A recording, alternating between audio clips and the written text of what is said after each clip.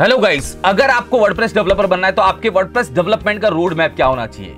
बहुत सारा आजकल डिमांड है कि मुझे एक वर्डप्रेस डेवलपर बनना है। अब वर्डप्रेस डेवलपर करता क्या है? वर्डप्रेस डेवलपर का काम होता है वेबसाइट बनाना।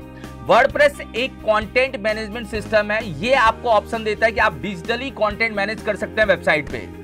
वर्डप्रेस डेवलपर में भी दो टाइप्स के डेवलपर होते हैं। एक होता है विदाउट कोडिंग एक होता है कोडिंग करके डेवलपर अब विदाउट कोडिंग जो वर्डप्रेस डेवलपर होता है, वो क्या क्या काम कर सकता है और किस किस टाइप की वेबसाइट बना सकता है? देखिए वर्डप्रेस डेवलपमेंट में अगर विदाउट कोडिंग अगर आप काम करते हैं, यहाँ पे आपको कोडिंग की कोई नॉलेज नहीं चाहिए। एचटीएमएल सीएसएस जावास्क्रिप्ट नहीं आना चाहिए। आप विदाउट कोडिंग वर्डप्रेस में वेबसाइट बना सकते हैं। तो वर्डप्रेस में आपको यहाँ पे ये सीखना पड़ेगा कि आप वर्डप्रेस को सेटअप कैसे करते हैं। वर्डप्रेस को लाइव सर्वर पे सेटअप कैसे करते हैं। वर्डप्रेस में आप थीम कैसे यूज़ करते हैं? थीम यूज़ करने का मतलब ये हुआ कि आप बनी बनाई थीम पे काम कैसे करते हैं? वर्डप्रेस में पेजेस कैसे क्रिएट करते हैं? पेजेस को मेन्यूज में कैसे ऐड करते हैं? वर्डप्रेस में ब्लॉग पब्लिश कैसे करते हैं? वर्डप्रेस में आप प्लगइन्स पे काम कैसे करते हैं? तो मेन मुद्दा जो होता है विदाउट कोडिंग वाले बंदे का, वो थीम प्लगइन्स को ही यूज़ करके वेबसाइट को बनाता है। यहाँ पे आप ब्लॉगिंग की वेबसाइट बना सकते हैं, यहाँ पे आप ई कॉमर्स वेबसाइट बना सकते हैं, यहाँ पे आप ट्रेवल बेस्ड वेबसाइट बना सकते हैं विदाउट कोडिंग का मतलब ये हुआ कि यहाँ पे कोडिंग की ज़ीरो नॉलेज है। आप वर्डप्रेस में विदाउट कोडिंग सारी चीज़ें क्या कर सकते हैं? डेवलप कर सकते हैं। और इसकी जो भी वीडियो का लिंक है, वो आपके डिस्क्रिप्शन में मिल जाएगा। उसके लिए मैंने पार्ट्स बना रखा है, उसको आप देखिएगा। विदाउट कोडिंग आप ड्रैग एंड ड्रॉप करके वर्डप्रेस डेवलपर कैसे बन सकते हैं, वो पूरा उसके अंदर बता रखा है। तो यहाँ पे चीज़ ये है कि विदाउट कोडिंग वाला बंदा बस एक स्टेज पे जाके फंसता है, अगर उसको कोई ज़्यादा कस्टमाइजेशन करना हुआ। तो आप वेबसाइट तो बना लेंगे वर्डप्रेस का यूज़ करके विदाउट कोडिंग जिसमें आप सेटअप करना प्लगइन्स इन सारी चीज़ों को यूज़ करके एक अच्छे लेवल की वेबसाइट डेवलप कर लेंगे। यहाँ पे वर्डप्रेस विदाउट कोडिंग के अंदर जो मेन और पढ़ना पड़ता है वो पढ़ना पड़ता है पेज बिल्डर्स प्लगइन कि आप एलिमेंटर का यूज़ कैसे करते हैं डीवी पेज बिल्डर का यूज़ कर, कैसे करते हैं। अगर आपको वर्डप्रेस की वेबसाइट पे फॉर्म को इंप्लीमेंट करना है तो विदाउट कोडिंग आप कॉन्टेक्ट फॉर्म सेवन प्लगइन को कैसे यूज़ करेंगे आप डब्ल्यू पी फॉर्म प्लगइन को कैसे यूज़ करेंगे निंजा फॉर्म कैसे यूज़ करेंगे वो विदाउट कोडिंग का पार्ट है। तो विदाउट कोडिंग में आपकी डिपेंडेंसी हमेशा थीम और प्लगइन्स के ऊपर रहेगी। उनको यूज़ करके आप वेबसाइट क्या कर सकते हैं, बना सकते हैं। वो भी एक अच्छे लेवल की वेबसाइट बना सकते हैं। बस ये है कि वहाँ पे लिमिटेशन है कि आप एक स्टेज पे जाके क्या हो जाएँगे, रुक जाएँगे। अब ये जो डेवलपर है, ये फिर कहाँ काम आते हैं? एक्चुअली इसकी अगर कोई लिमिटेशन है तो ये कहाँ पे काम आता है? जैसे अगर आप कोई भी डिजिटल मार्केटिंग एजेंसी में जाएँगे तो सिंपल सा लॉजिक होता है कि लैंडिंग पेजेस बनते हैं। जैसे अगर मैं एड्स लगाता हूँ तो एड्स को दिखाने के लिए एड्स जहाँ पे लैंड होता है, उसके लिए हमारे पास क्या होते हैं? लैंडिंग पेजेस होते हैं। तो लैंडिंग पेजेस मोस्टली आपके किसमें बनते हैं? वर्डप्रेस में बनते हैं। तो अगर आपको किसी वेबसाइट से रिलेटेड लैंडिंग पेजेस बनाना है, कोई वन पेज की वेबसाइट बनानी है, कोई मल्टी पेज की वेबसाइट भी बनानी है तो आप वर्डप्रेस डेवलपमेंट को यूज़ कर सकते हैं विदाउट कोडिंग यहाँ पे आपको कोडिंग की नॉलेज नहीं होनी चाहिए, आप विदाउट कोडिंग पूरी वेबसाइट बना सकते हैं।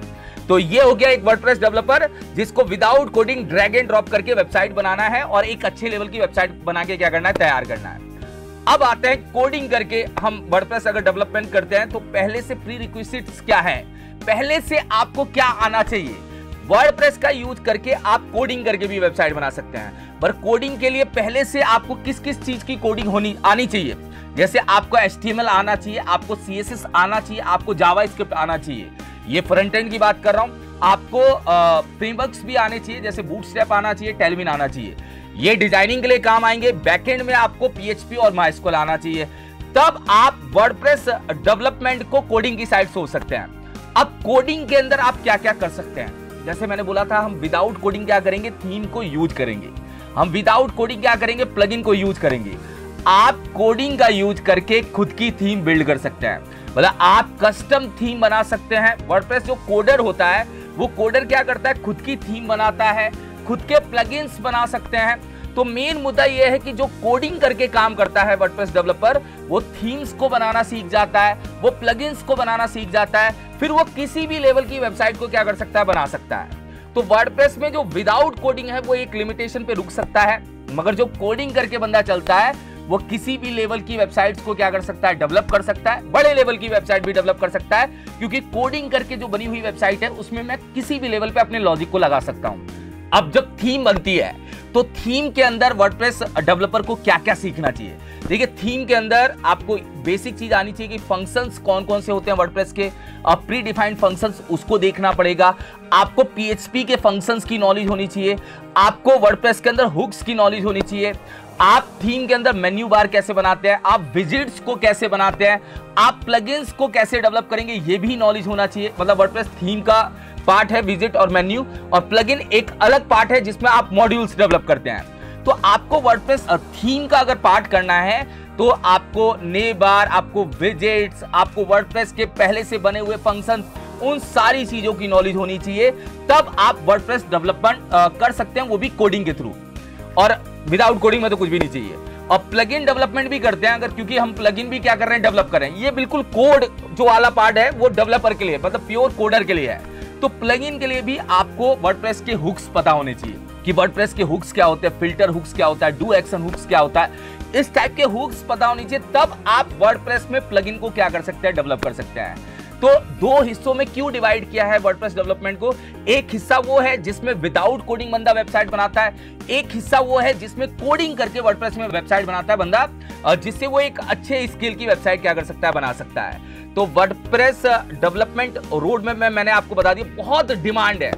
आज के टाइम में अगर विदाउट कोडिंग करके भी अगर आप वेबसाइट बनाते हैं तो बहुत सारी कंपनियाँ इसको क्या करती है यूज़ करती हैं। बहुत सारी कंपनियों में वर्डप्रेस डेवलपर की डिमांड है अच्छे पैकेज पे डिमांड है। अब अगर आप कोडिंग करके जाते हैं तब तो आपके पास स्कोप बहुत बड़ा है क्योंकि वर्डप्रेस डेवलपर जो है वो थीम अगर बनाना सीख जाए और प्लगइन बनाना सीख जाए तो वो 50 से लेके 80,000 के अराउंड कमा सकता है। स्टार्टिंग में भी मिल सकता है। मगर वो उस लेवल का डेवलपर होना चाहिए, तब वो उसको स्टार्टिंग में इस लेवल का पैकेज क्या होगा टच होगा।